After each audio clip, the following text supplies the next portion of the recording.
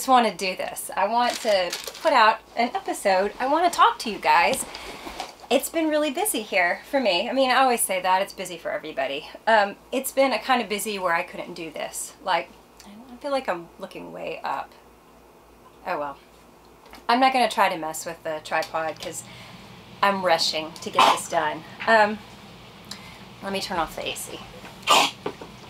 And my dog's fixing to throw up. Please don't throw, no, don't get on my lap. Not this time. Okay. oh my God. Come on and get on my lap. Go ahead. Come on. This is Spot. He doesn't have an interesting name. Uh, he was given to us by a family that took some dogs from a shelter that was closing and one of them was pregnant. And she had a bunch of puppies and Spot was the one that kept getting away. And his name was Spot because of, you know, his spots. And uh, my children were like, oh, that's a boring name though. He doesn't have a special name. So we renamed him Spoticus son of Bitsy. Eh, anyway. Um, so he's got an interesting name, but we just call him Potsy all the time. Okay. Hello, everybody. It's been a while. I'm Michelle. This is my so-called handmade life. Uh, I have a blog by the same name, and I'm Mamatronic on Ravelry, and I'm uh, my so-called handmade life on Instagram. Louise was saying how she picked her um, YouTube name, it's also like her Instagram name or a variant of it, Poppy Pipkin, years ago when she didn't imagine she would be talking to people back and forth and they might refer to her as Poppy Pipkin. so Mamatronic is sort of the same thing. Um, I don't know, I was just being, I don't know, silly and I was sort of a mommy machine at the time, so... And now I'm sentimental about it and I won't change it. so, anyway, I wonder how you've all been doing. Please leave me a comment telling me what's going on with you. Uh, what you're working on.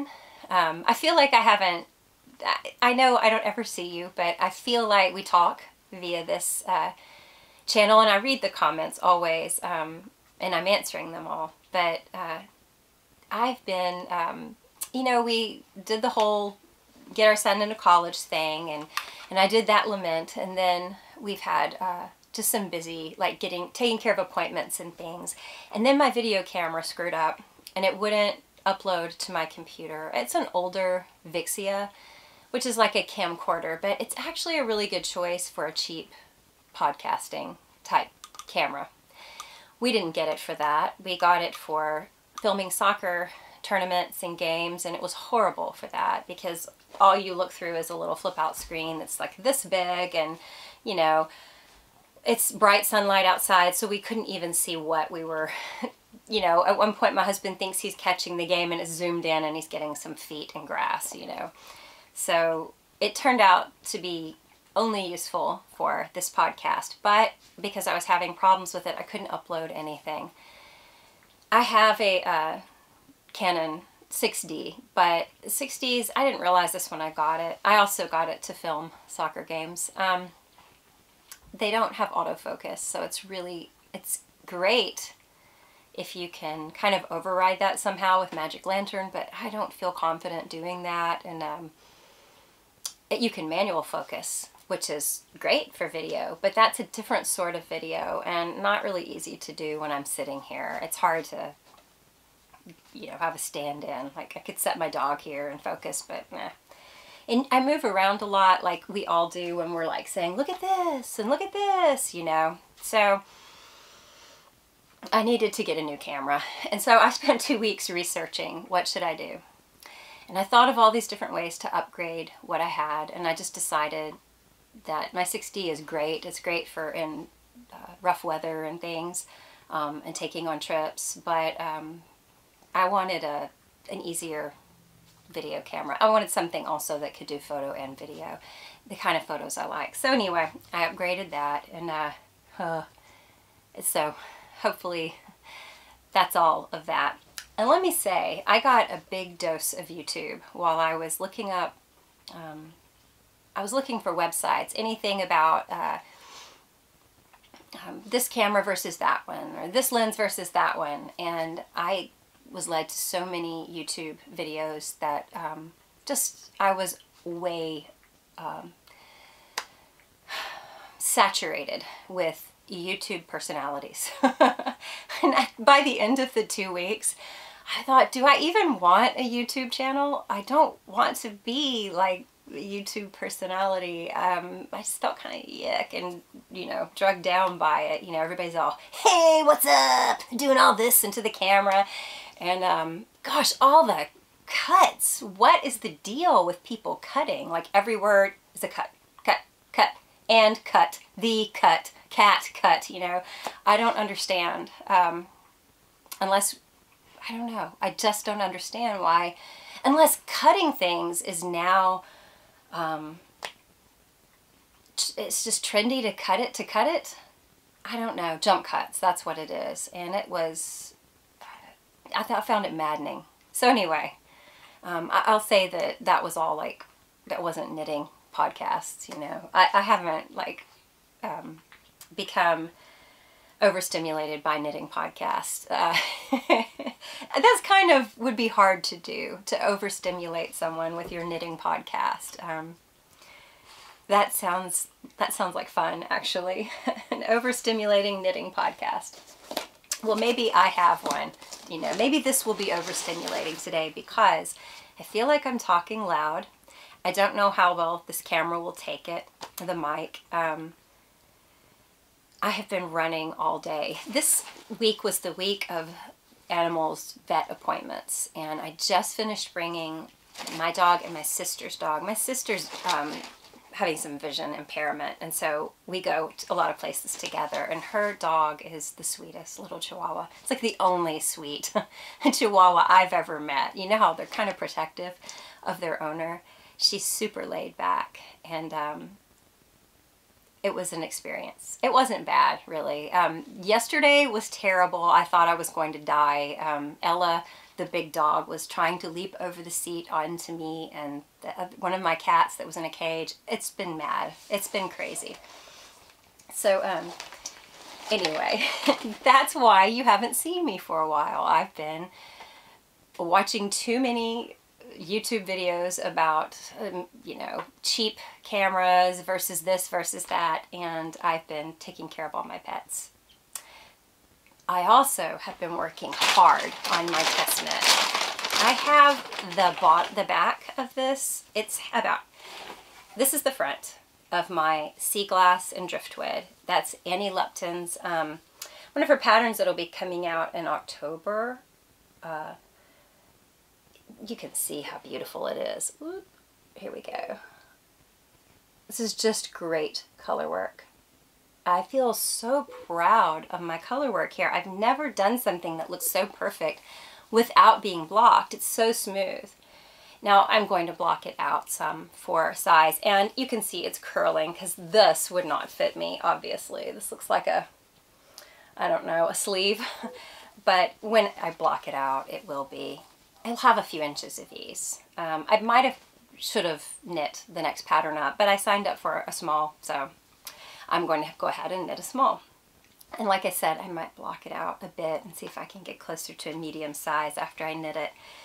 But um, it's just so much fun to work on. I'm not bored at all with the repeats. Um, you know, it's not a lot, like it's a, it's a big chart, but you take it in chunks and you do just a few uh, rows several times and then a few more and then a few more. Uh, so it's easy to memorize these repeats and I'm really loving the way this Knit Picks Hawthorne, um, it's a discontinued color. It's one of their tonal um, hand paints and it was called Nob Hill. It's kind of a pinky purple, I mean a purple, a purple kind of lilac colored, um, there's no pink in it um, tonal. Let me pull out uh, a little bit of the yarn. You can see here, maybe. There we go. Oh, look, this is focusing pretty well. Oh, I'm so sick of thinking about cameras. you're going to get camera overload too in this episode because I cleaned out my camera closet. I'm going to show you some of the goodies I have in it. So the back is what I'm working on now. And I'm probably this far along the back. So really, I just need a good day to knock out that back piece. Join them um, and then it's sleeves. I'm going to do my sleeves two at a time and they're going to be um, a solid. The um, Let's see. Oh no, they're going to be this color, the purple. This light color is uh, Stroll Tonal um, by Knit Picks also, and it's like pearlescent, and that's still for sale with them. They have comparable things to this. I think the new um, Stroll Tonals and Hawthorne kettle dyed uh, colors would be comparable. This was a hand paint, so it was supposed to be variegated, but I found that it wasn't too wildly variegated. That's why I liked it. And I got three skeins, and it should be enough for a size small, which was also a good reason to knit the small, because I don't think I would have had enough yarn for a medium in these colors. Anyway, that is something I've, it's taken all my focus. Um, when I work on it. I, I can have something going on the TV or listen to something, but I can't read. I have to be looking down because I'm using two hands at once, right? So I'm doing sort of a continental with one hand and a English with the other. And uh, it's going really well, though.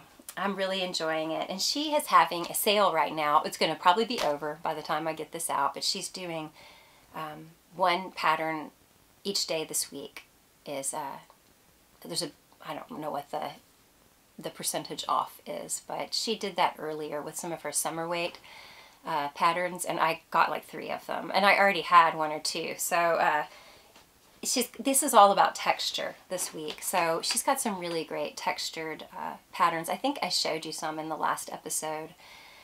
So I think um, I can't think of the name of it. I, uh, Carytown, I think is the name. That's one that I showed you. It's textured and I'm wondering if it's going to be in there because uh, I, I might want that if I haven't gotten it already. So um, I'm wondering what you guys are working on. I finished my Junko sweater, which you saw, and I started on Floozy. Let me show you where I'm at with the Floozy. Um, I've another thing I've been doing is I've been trying to help moderate in uh, the Floozy knit along. I don't know how good of a job I'm doing. I um will be like out of pocket. I think a lot of the knitters are in Australia and New Zealand and um, so our hours are a little different but uh, like I'm, I'm like out of pocket most of the day and then all of a sudden in the evening I'm just like, you know, a barrage of posts. I'm probably obnoxious on that thread, but um, it's a really great forum. This is in Libby uh, of Truly Myrtle Designs. It's her um, podcast and design business um, Ravelry group. So I think it's called Truly Myrtle group. And uh, everybody's working on their Floozy cardigan. So I've shown you what it looks like. I might put in a photo of the, what it's supposed to look like in the end, but you can see my progress. I kind of got almost finished with the color work and I had to stop and work on my um, test knit for Annie because I, I want her to get that out as soon as possible. I want to, you know, be a help and not a hindrance. So is this not lovely? I don't feel like you're getting the it's just very dark. I, I, did not get home today until dark, so I don't, um, I can't really. I guess that's good. You know, just because my vision is bad and I can't see it, doesn't mean you can't see it. so, I really love the Yarn Floozy kit that I'm using for this. Somebody commented, um, that they wouldn't have thought of using this light, light shell pink. Um, or maybe they were thinking of the bright, um, almost cranberry pink. But this, that looks almost like an off-white, it has a slight, just a, a slight pink to it that I just would never think of either of those pinks with this um, mustard color, but it really does work. It, they look really good together. Um, this is sort of a, a grayish pink. It's just very different. So um, the specks in the mustard are what you see as your bright pop of color, contrasting color. I think it's called wild berry. So foliage, wild berry, and I don't remember. Maybe I'll put it at the bottom of the screen. This is a great knit. This is a very silky, soft yarn. Um, I have only used, I don't think I've ever used wool silk blend for a garment before. I started with a sweater that I loved and it was Farrell and I did, I was doing so good and then I just gained weight and I couldn't wear it. And I still have it somewhere like, one of these days I'm to lose all that weight. Um, that was nice yarn and it felt really soft. This is has some cashmere in it too, so it's extra special. I think it's going to be kind of a finer garment for those fancy days, right? So that is a busy forum too, and I have wanted to take part in it quite a bit, so that's also kept me busy. The summer sweater knit along has ended. I finished nothing. I feel like such a loser. Sorry. I feel like such a loser for not finishing. Uh, this is my first time ever to do a knit along with Very Shannon that I finished nothing, but it's just, it's just been a busy time. Did I tell you I started back volunteering with BSF? So I'm working with three and four year olds and uh, it's going to be fun. It's going to be a handful, but a lot of fun. Um, oh man. Uh, there were tears, you know, nervous ones. There were ones that were like, no, I want this chair. It's my chair. Um, they were saying funny things and uh, all of them want to have a good time. They liked playing with balloons. They liked singing. Uh, it's a really good program because it keeps things moving, so it can't get too um, too boring for them. And if I do something and it kind of, you know, flops, they they're going to be working with Play-Doh or having a snack in just a minute, so you know it's not the end of the world. But they were all pretty good. They were uh, they helped us out quite a bit. So I'm just used to working with slightly younger ones, and since I haven't worked with young children in a while since my kids were little. It's been nice to do that. It's felt really good to, I don't know, just deal with little ones. So that's part of my, what am I going to do with myself now thing. I gotta drink something, hang on.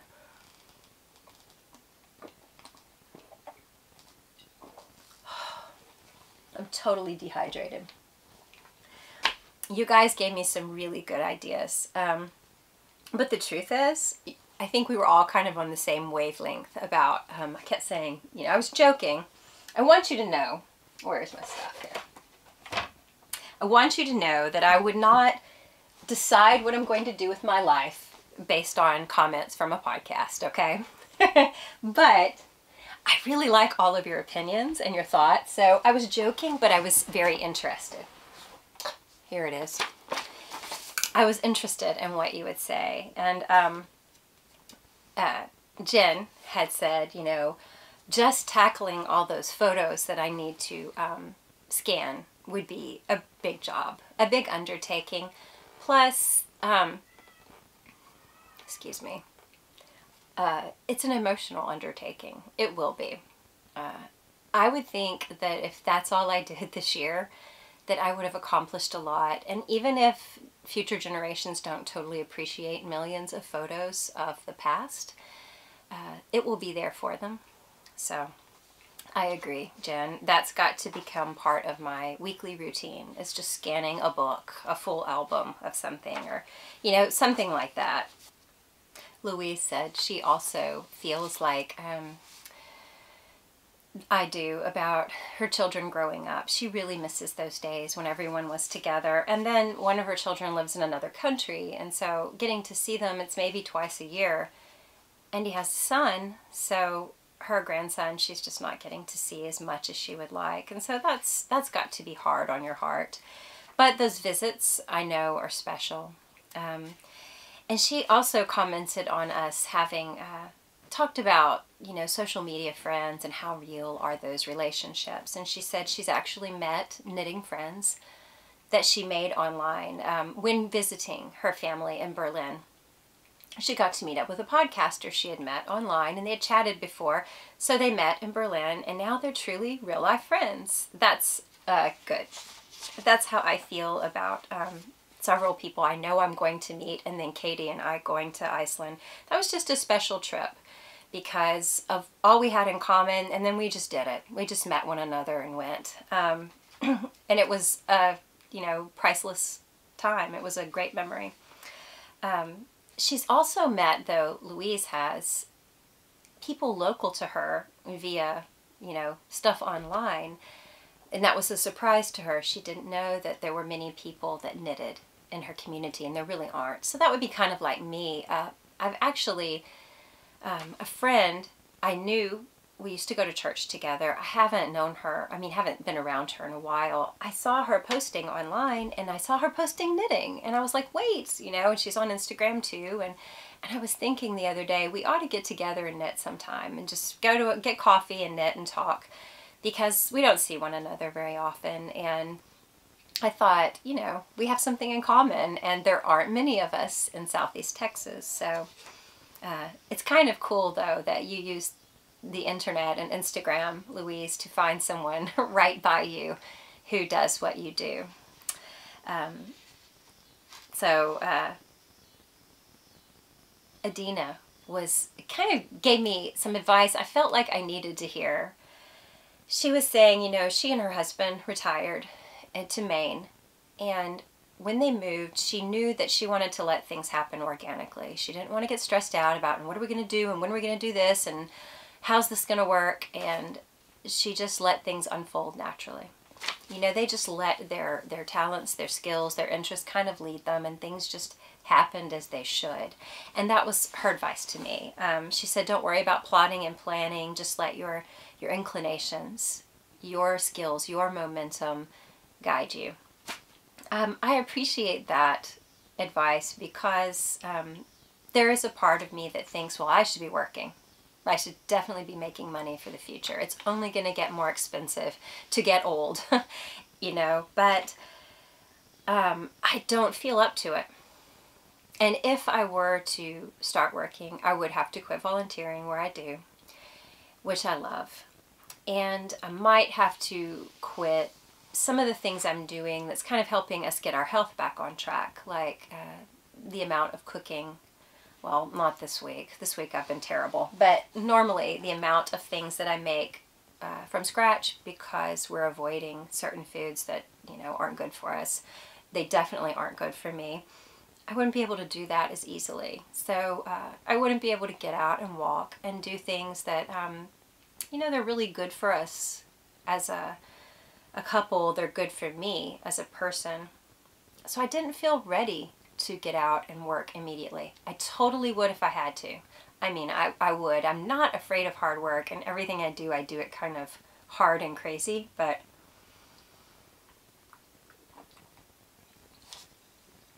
I, um, I just, it didn't feel right. And so when I read that comment, a couple of weeks ago or whenever you, about a week ago, Adina, I thought I needed to see that. Um, because that's how I've been kind of handling it, but you almost, I don't know, we just live in a culture where it's about uh, amassing more things, a little more status. Um, it's really hard for some people to say, like me, to say, I, I didn't finish school. I mean, it's not really hard for me to say it, but uh, it is for some people, and it's uh, definitely a cause for some people to think less of you. I didn't finish college yet. I might. And um, I'm not immediately going to scramble to have some sort of career or status or income. Then there's also, like I said, the concern, well, I really need to be putting money away. That can happen. I'm not saying it won't. But uh, I did want to let things unfold naturally a lot like Adina said. I appreciated that. Um, no, what did she say? Overthinking, plotting, or planning. that is exactly what I needed to hear.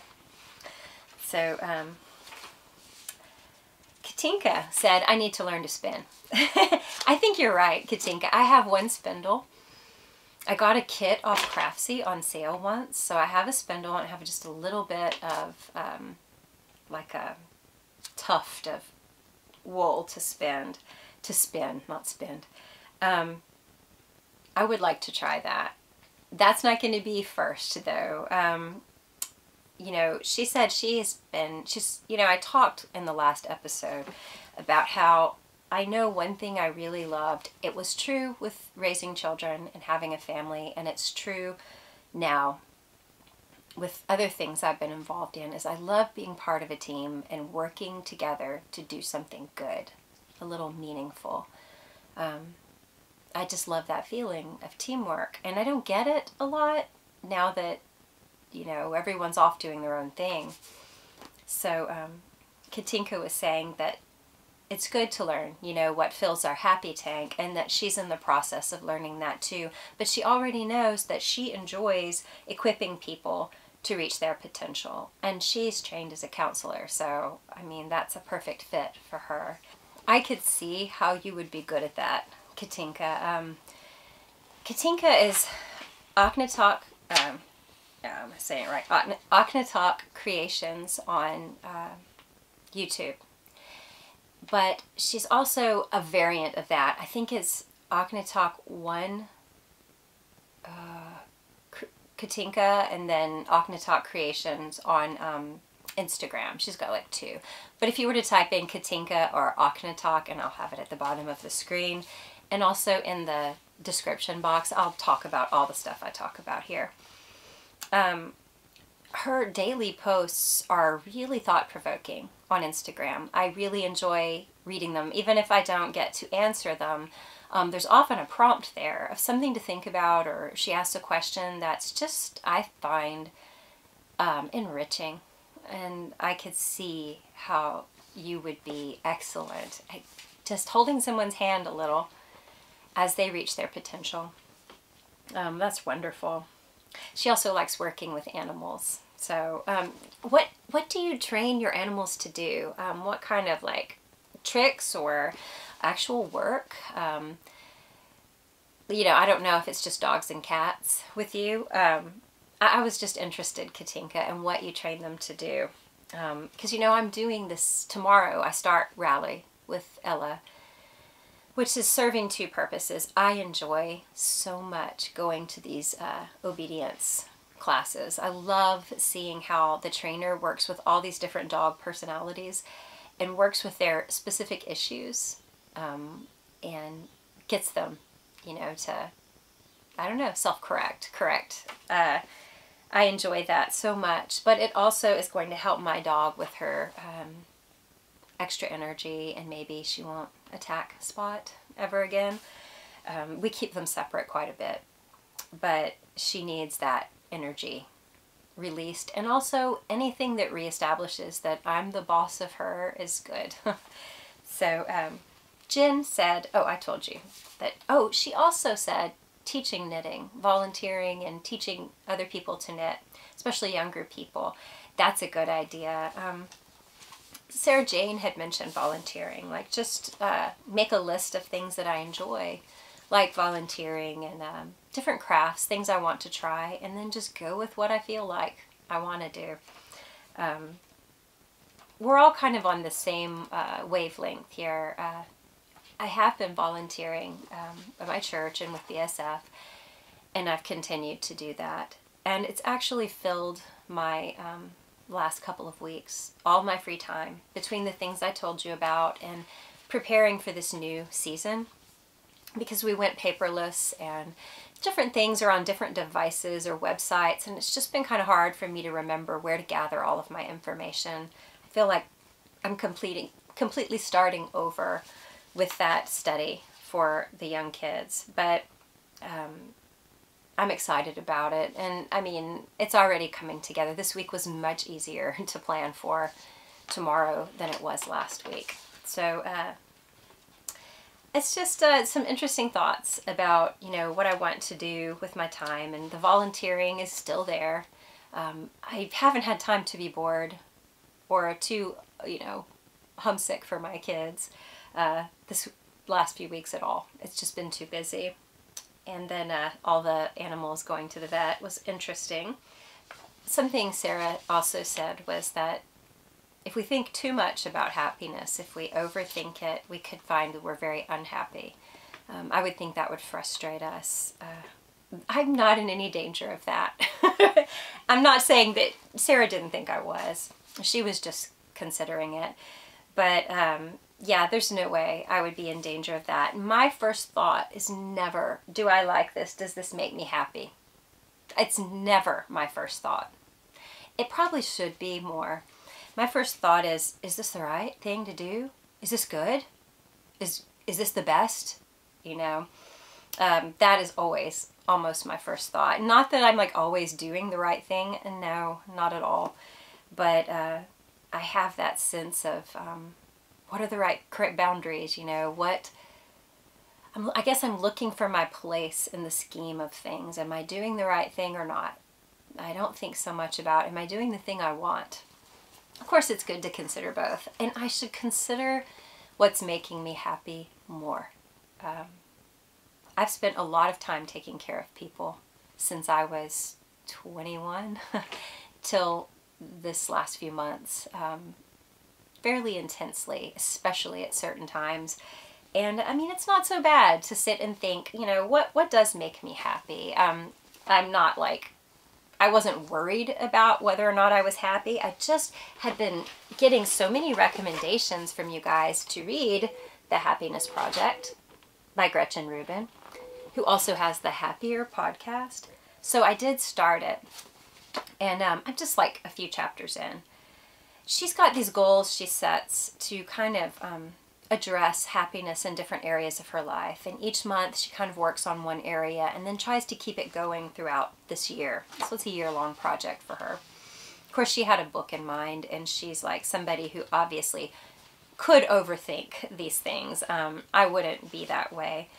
But, um, and I don't want to read a ton of it because, you know, we should all buy it if we want to read it. But um, I liked some things she had to say about boosting energy. You know, uh, you know that in the last few months we've talked about um, uh, health stuff, moving more. Um, I was walking while knitting. I didn't really do that a ton, but walking a lot. Uh, the Katy Bowman books and um, thinking about the food I eat, less sugar, less caffeine, all of that um, I've actually started feeling a return of some of my hormonal symptoms, and I think it was stress uh, because my diet has been really clean. It's been good, um, and I just don't eat a lot of sugar. The sore throat was coming back where I talked, like after doing this, I'm going to have no voice for a while. My sleep has been extremely disrupted, and I don't understand why. But the more I get up at night, the more I encourage my cats to think this is normal, and then they're going to expect me to get up every few hours. So, um, yeah, it kind of concerned me. So as I was reading in this book about um, exercising better and boosting her energy, she makes a comment about um, how regular exercise, we know this, you know, it, it actually even when you're tired, you kind of feel better and get things pumping and moving when you exercise. And Gretchen decided that she would act as though she had more energy than she really felt to try and give herself that. So, sort of faking it till she makes it.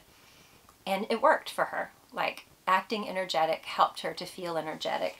And I can see when I do that, like, I'll, um, it's not like a put on, but when you have to do something for other people, you really give it your all. Whereas at home, you'd be just kind of, kind of a melted zombie. And then you feel better after you do it. I mean, why not just do that for my own sake? Um, put on a little, put on some music and clean the house kind of fast. Um, that gets you moving. Or um, go for a walk with the animals, something. So I'm wanting to put that into practice. Another thing that she talks about in here, let me see, I wrote down the things that interested me. I'm going to be doing tons of cuts too. All truly great thoughts are conceived while walking. Um, that's, uh, it, it kind of does prove true. I, I think my best thoughts happen when I'm outside moving, doing something where my focus isn't on like the form of what I'm doing. I'm just enjoying it, like riding my bike or walking or running. Um, though I'm thinking I might need to stop running for a while if it's boosting this cortisol reaction in my body and I need to calm things down to help my hormones. I'm not quite sure. I feel great after I run, I feel like it's a great stress reliever for me, but if it's actually doing the opposite to my body, uh, I don't know. When I'm walking, I tend to make decisions about how I'm going to react to something, how I could handle something better in the future. A lot of my relational um, decisions are made through movement. So that's very true for me. Um, uh,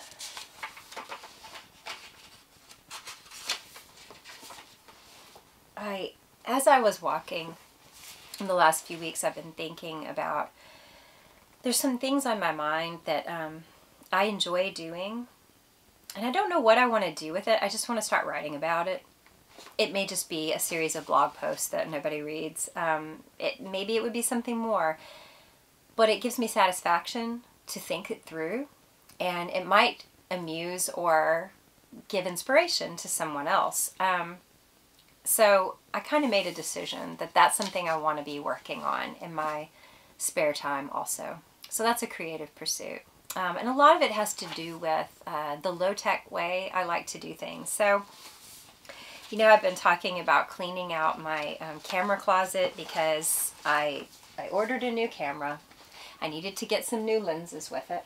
I gave another camera to my daughter and uh, I thought I just need to go through all this old stuff I have. And let me just preface this with I'm not showing you, oh, look at all the things I have. You need to understand that these are dirt cheap vintage cameras. A lot of them were 50 cents or a dollar.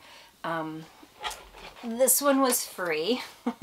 I don't know if this one works. I've never actually tried the film for it. I think the Impossible Project started making less expensive film since I got this and I've been so busy. I mean, the last few years were not the time to try new things for me.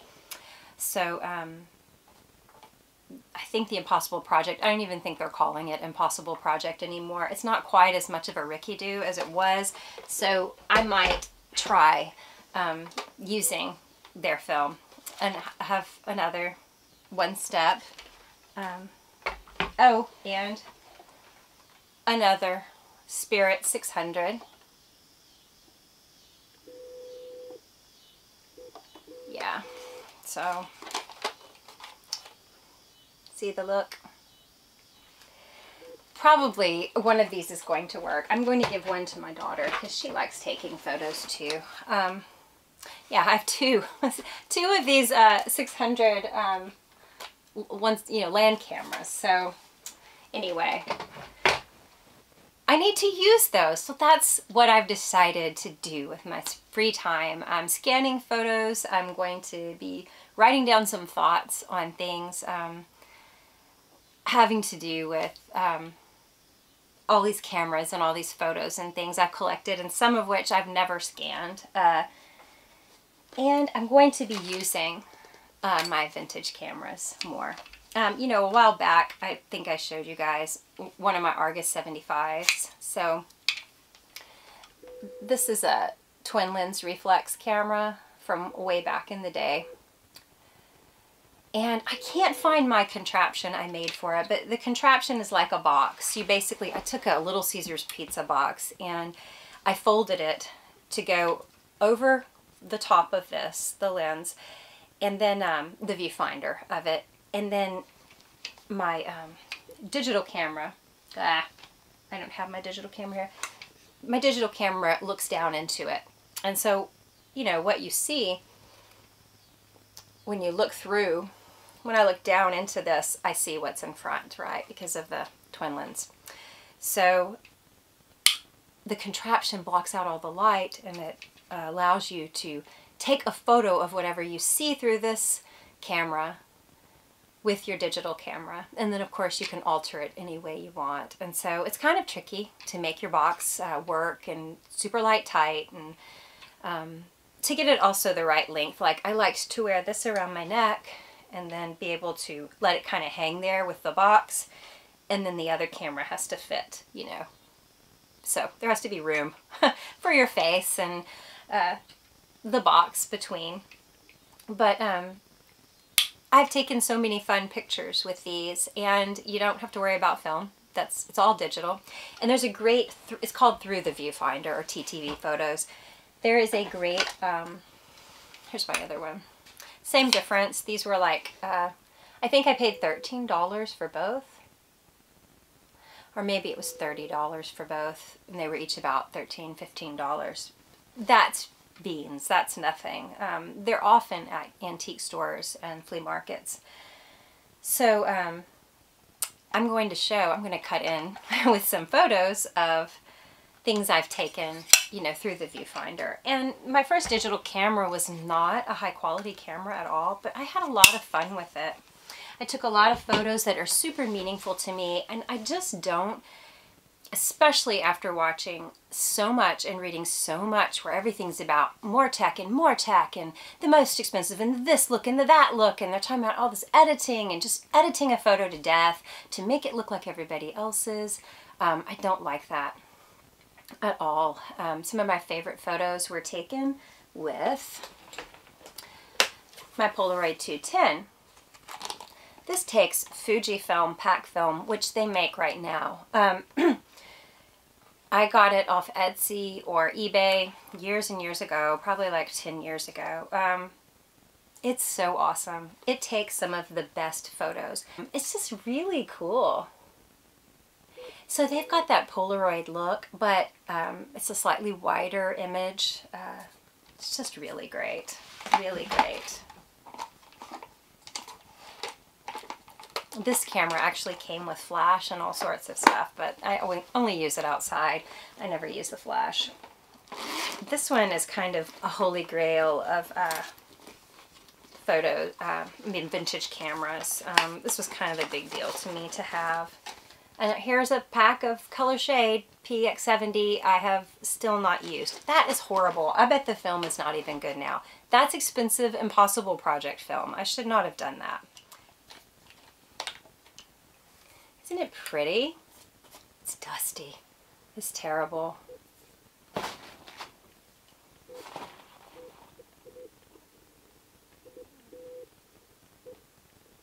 Mm, I really love it with this refinished like brown vinyl leather-like uh, stuff.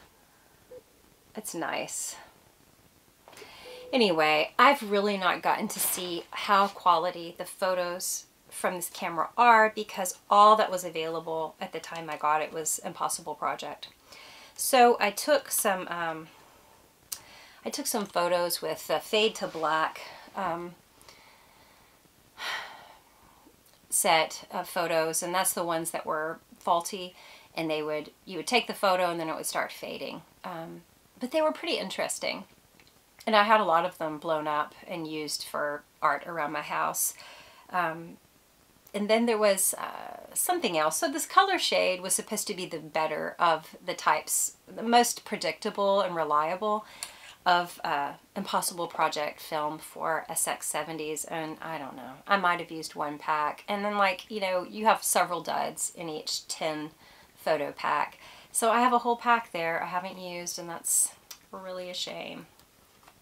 These things have just not been used in the last few years. Life got too busy for me. So anyway, I'm excited to use this one. And I really ought to just display this one. Um, another fun one, this is like a total no-fail camera, is the Fuji um, Instax, but the wide, the Instax uh, 210 wide.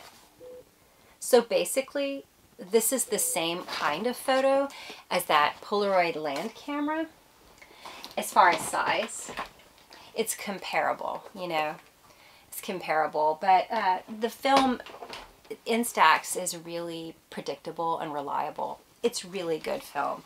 Um, I also have this little one, and I, I do have film for it right now. I got this around the time of my daughter's wedding because we did sort of a vintage memory type little theme. We didn't really worry about a theme, but um,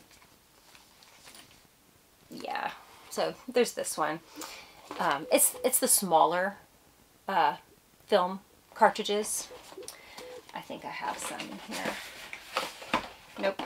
Um, I'm, I might have some photos I can show from this one. I think she mostly used it at her wedding reception and then I was going to take photos with it and that was a hard time.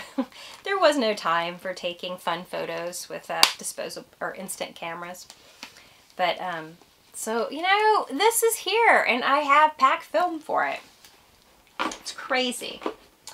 Um, as I looked through all of these, I saw my Minolta, which is my first real camera camera. Like I had a Kodak disc camera when I was a kid and I took really crappy pictures with it. But this uh, camera was my first uh, 35 millimeter and um, it just took some really good sharp images. Uh, yeah, I mean, I don't know that it's anything special, but it's special to me. I took um, these photos. Of course, I blew them up and, you know, used a regular printer, crappy computer printer to print them out. But these little photos of my children, they're some of my favorites.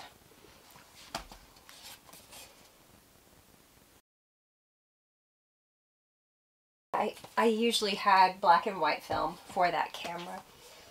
Um, I don't know why. I just always, maybe it was cheaper and I always bought that. Um, and maybe I'll show some photos that I took with it. They were all really good.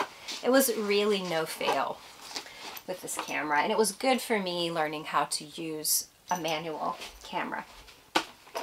Um, let's see, what else do I have here? Here's one I haven't really used. I took one roll of film and it's really hard to uh, get the focus and stuff right. Um, the deciding your distance and your um, shutter speed, aperture, all that on this Fed. Uh, I don't remember even what all the difficulties were with it. It's uh, manual, but it doesn't have any kind of metering inside of it. You, you're, you're doing all of it based on what you know of the camera. So um, it's like a, a Russian camera that's just a vintage. They're kind of popular uh, online. Feds, uh, there's like Flickr groups devoted to them. Um, it when like one photo came out in focus uh, in the one roll of film I used, it was good and the colors were really good. It was neat. It did have a different look than say the Minolta. I never really even got to indulge in this. I went through the spell where I haunted uh, eBay looking for vintage stuff for cheap. vintage photos and cameras. I mean, not photos, vintage cameras. And so uh, I sometimes I would get like a pack, like I got two for $30. Um, this one, uh, this Yashica came with another one that was a little bit in rougher shape. Um, that I haven't even uh, cleaned up or worked on at all. And I need a lens cap for this. This takes beautiful, soft, subtle um, color photos. I mean, it could take black and white too, but I've only used it for color. And I took some photos I just love of California with this camera. Uh, it was just special.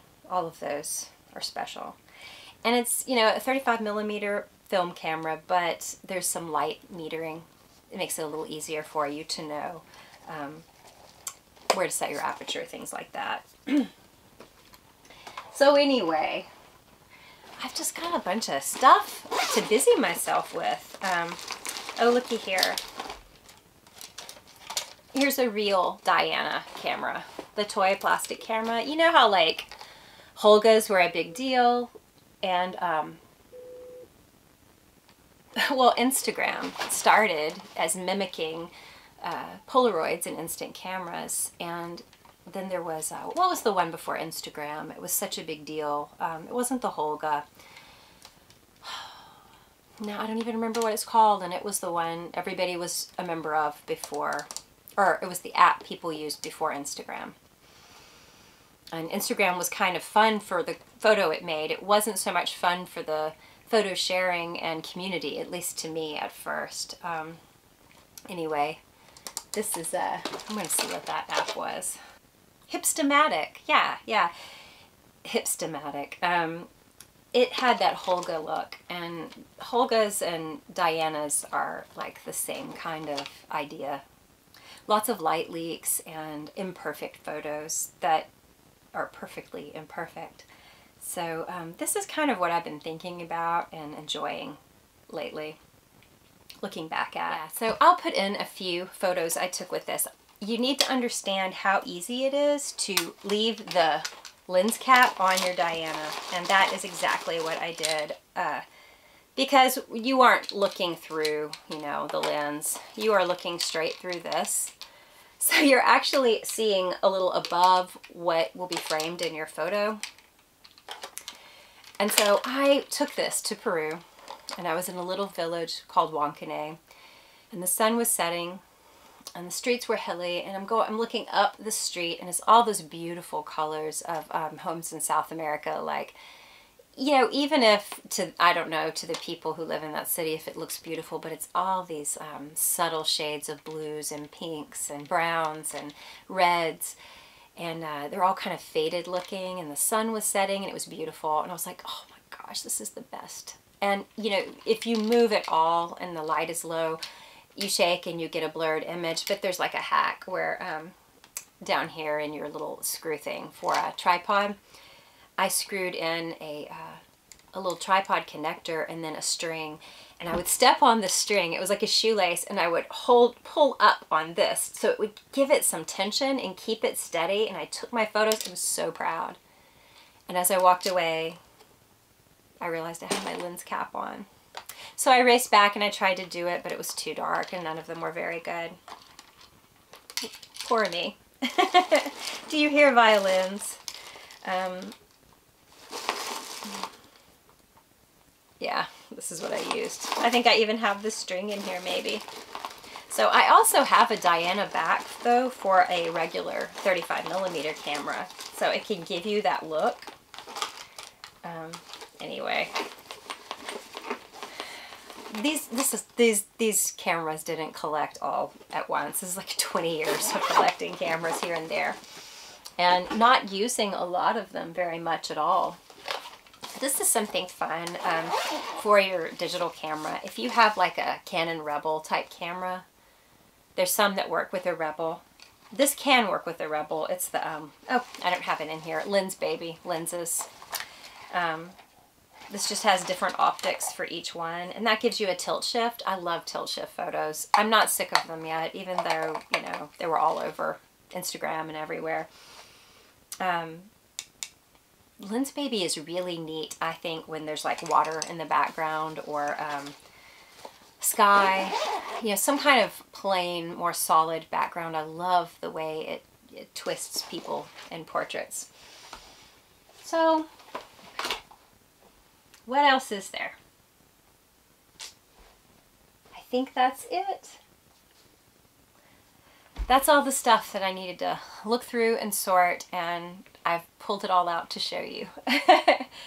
um, you know, I've got one more project I started.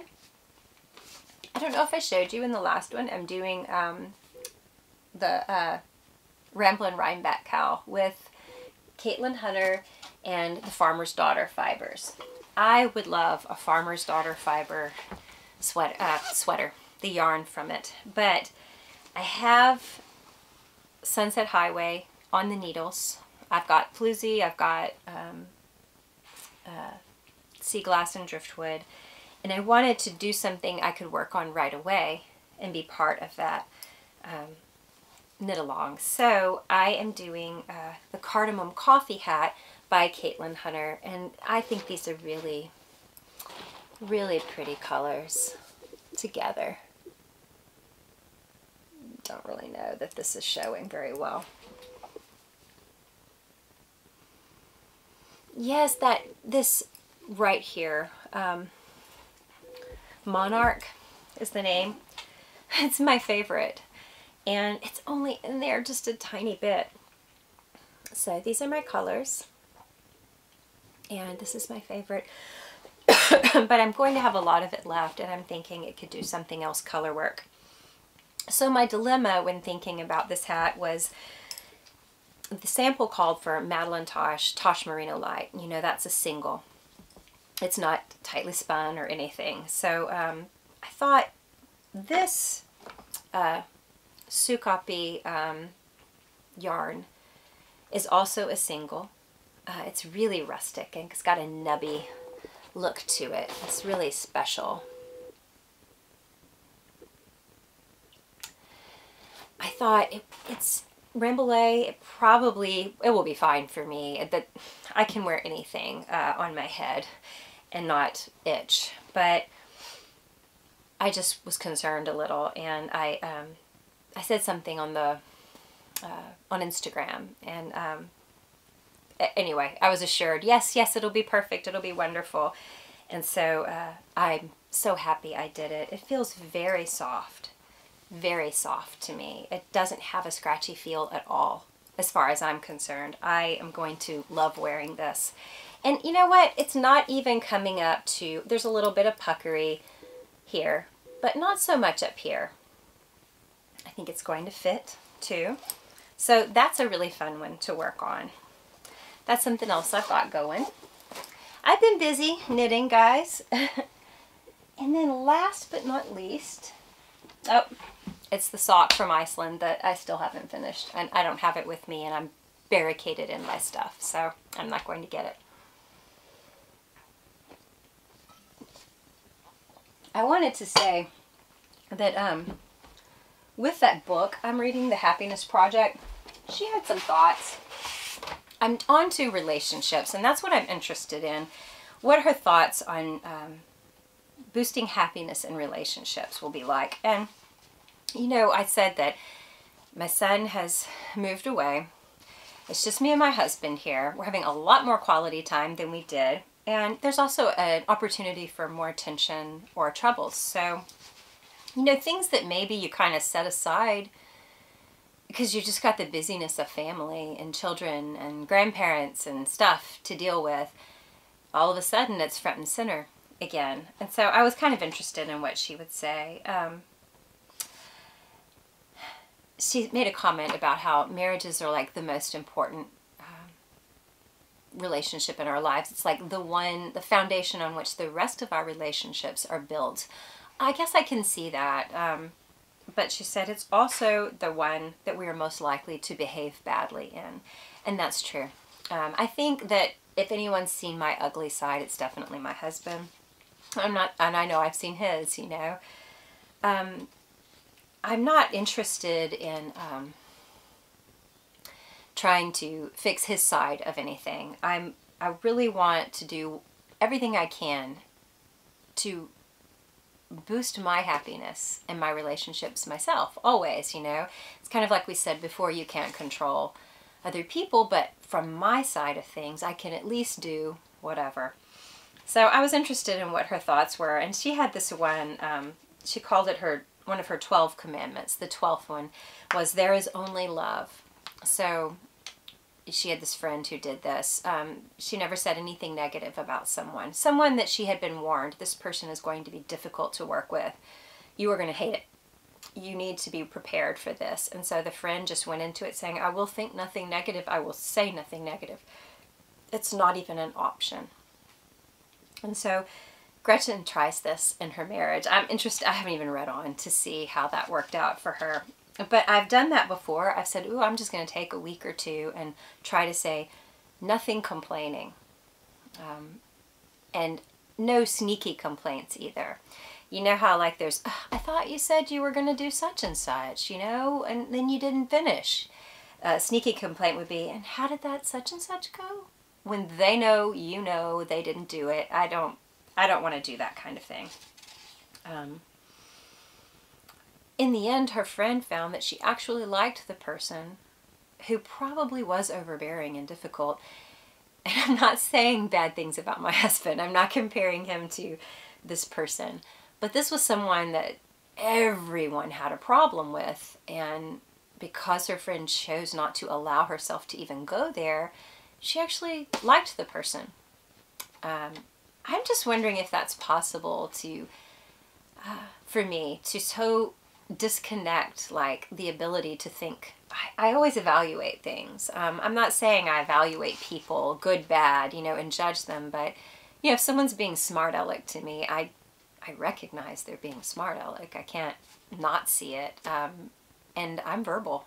I'm super verbal, so I'm probably going to say, "Why are you being smart aleck?" Um, so to not do that will be really hard for me. Um, I've done it before, so I thought, well, I'm going to do that again. You know, we don't want to kill each other uh, now that our son's moved out. Um, so I thought that was interesting. Uh, another thing was to not ask or remind her husband to do tasks. She started doing this where she would just, uh, let me see how she said it this sounds kind of um, annoying to me. Like, uh, remember you promised to figure out what was wrong with our video camera? So we can go to the park? Instead, she would just say, camera. And her husband would be like, huh, and go do it. Kind of like, where's the ball? And the dog goes, huh, and does it, you know? I think I would know that someone was changing their tact with me. I think I wouldn't like that. Uh, so I don't think I'll do that. But the idea of finding a different way to say something. So for me, I don't think my husband gets mad if I ask him to do something. I do think he'll get miffed if I ask him and I make it clear that, you know, you already said you were going to do this, right? Okay. You know that was a month ago, right? You know, that would annoy him, so I could just ask again. If it was something I couldn't do myself, but for the most part, I'm really trying to just, if I want it, or I want to do it, just do it myself. Some things I can't do though. Um, so no expectations is a big one for me. And I just remind myself of that every once in a while.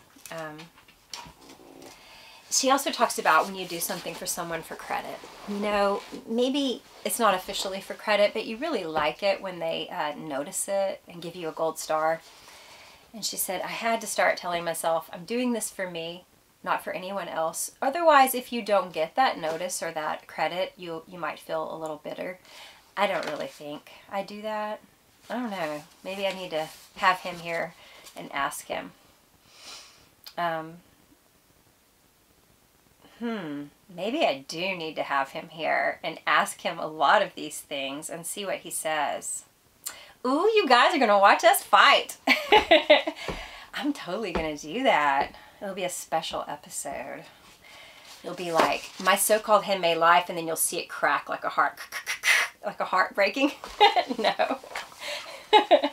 okay. Um, so yeah, now I'm reading about how she says to fight right. You know, I've read marriage books. Like this isn't a marriage book. Uh, and I didn't get this for marital advice, but as I saw, oh yeah, she's going to work on her relationships, um, I was interested in what she would say because it's not a marriage book. I've read marriage books before. I've read Christian marriage books. I've read, you know, just regular self-helpy type things. And um, uh, so I don't know that any of this will be earth-shattering, but uh, anyway, that's my husband. He knew. We were talking about him. He's so annoying. He's saying, if you'll put together a grocery list, I'll go by the store on my way home. oh. I better shut up and be thankful, huh? Because um, I couldn't do the store today. I had so much to do. Anyways, so I don't know what to ask you guys. Um, what's something you would like to see or hear more of? On this podcast because I, I took so long away from talking. I felt like um, there was there also weren't a lot of comments to guide where this goes next. And I kind of like when you guys mention something, I take it and kind of go with it. I, doing this is interesting enough. I think just this focus on relationships, like not nagging and being positive only, um, saying nothing negative now, I mean, like if somebody's abusing you or something, you don't have to say that's okay and ignore that, obviously. But um, just for regular people, uh, it couldn't hurt, you know, to just try.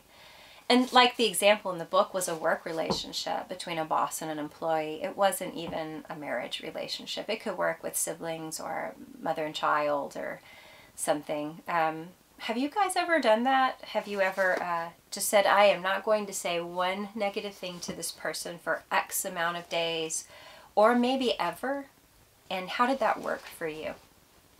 Or if you've never done it, are you willing to do it? Could you give it a week and just say, I'm going to give it a month because that's what she did in this book and I'm interested to see what happens. And then I'm, I'm still, I mean, these chapters are super short. I mean, tonight I will find out what, uh, if it worked for her. Um, possibly tonight, unless it's at the end of the book that she talks more about it. But um, I've heard lots of people recommend it, and I've done that before. I don't really remember that anything great or different, you know, came about because of it. But it does help me stop and see myself. Boy, you sure sound like a witch, you know. Um, and you have to be more creative when you can't just complain because you're frustrated. So it also gets me to just take my issues straight to God. Just bypass the whole argue with your husband thing and just go straight to the one who's probably going to fix it anyway or fix me. So anyway, that's, yeah, that's what I want to ask you guys. Have you ever tried the experiment of saying nothing negative to someone for a certain amount of time and how did it affect the relationship? And if not, is there someone you could try that with this week? And let me know how it works for you. Please, I'm really interested. Um, also, you guys tell me if there's something you would kind of like to see on this podcast. I'm not going to be so harem scarum next time. I'm getting back on a regular schedule. Uh, my schedule for the rest of this next nine months is set. So I know what days I'm going to do this. And it should be a whole lot easier now that I have new tech. Hopefully it won't be uh, the mess it was. And I missed you. I missed you a lot. So happy knitting and uh, I don't ever know how to end these. I feel like. I used to call my grandmother and I know she needed to get off the phone, but she would just hang on the phone a little bit longer and say one more thing. Okay, well, all right now, bye-bye. Oh, oh, but what about, and I realized one day that she felt kind of rude just letting it go. It was hard for her to get off the phone just in case. She didn't want to be the one to hang up. So, uh, I thought that was sweet, you know. And between the two of us, we just, oh, well, uh, uh, oh, oh, and just say one more thing constantly to one another. But that was maybe kind of a southern lady way of being polite. And, uh, and that was sweet. And she would go, oh, bye. She would say, oh, bye, like that. Oh, I miss hearing that. Well, bye-bye. With it,